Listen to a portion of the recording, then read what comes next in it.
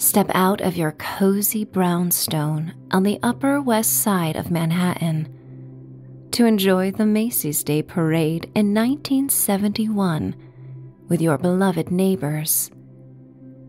After the parade, a gathering of this chosen family enjoys a holiday feast as sleet and rain take the city by surprise.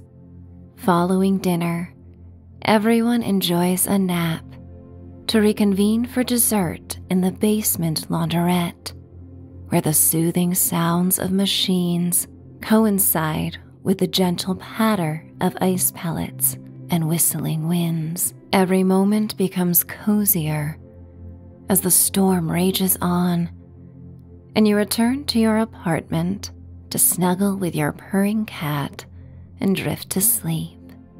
It's time to dream away.